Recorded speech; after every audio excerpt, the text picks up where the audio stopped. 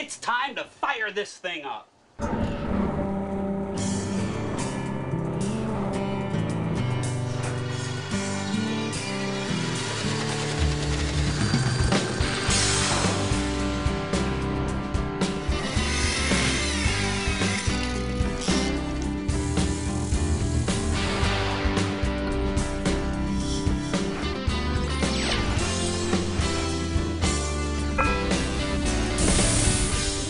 Beautiful day to be out on the water. Well, good deal you made it. Hi, I'm John Greviskis. It's great to have you back aboard the boat.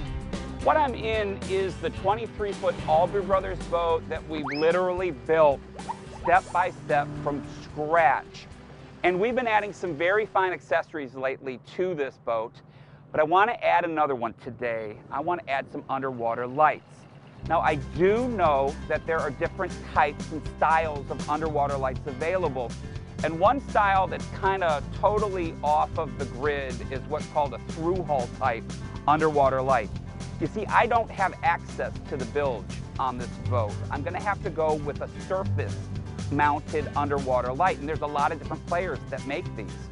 Now, I would like an underwater light that maybe has color change, but as I've been researching this topic, I'm kind of coming across some terms that I'm not really familiar with, like lux, L-U-X. I don't know what that means. There's also light companies that are using lumens.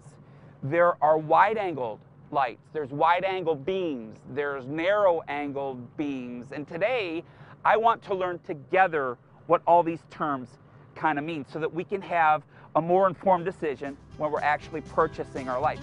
But the program is just going to be packed full of tips like always. And speaking of tips, here's today's very first one.